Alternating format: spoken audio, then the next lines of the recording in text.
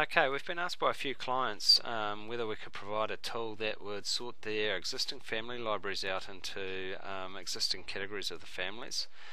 Um, family Browser looks at folders and generally they um, are sorted by the family category. So I've got a a folder here of existing families. Now these are all different categories of families. Um, there's some with type catalogs, etc.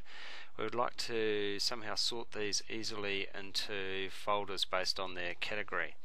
So I'm going to go back to Revit here and right mouse click on Family Browser, go to BIM Management and categorize existing family directory. Okay, so I'm going to go and find the folder that all the families are in at the moment and I called it Revit Families. Now it will look through Revit families and find all the Revit families in that folder as well as any subdirectories if there was any. In this case it wasn't, but it, it would look in subdirectories. And I'm going to then tell it where to put these families and I'm just going to put it in blank folder for this test and then go run. Now depending on how many families are in your library, if you've got a few thousand this could take a long time so just be aware um, that it does take a while to go through, find the category of each family and then place it in the correct place. Some families, obviously depending on the size of them and complexity, take longer than others, but it is reasonably fast. You can see it flipping through the families here now.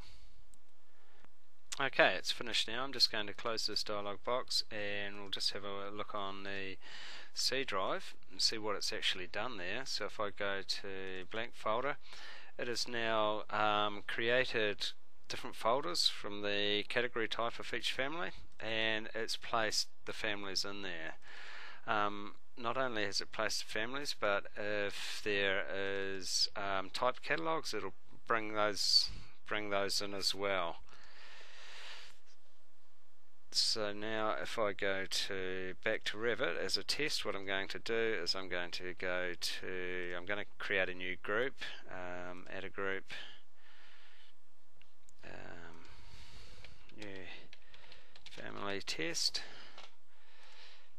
And I'm going to go to tab options and add a directory and I will select the blank folder go OK now it's created tabs for each of those folders that are now sorted into the family category.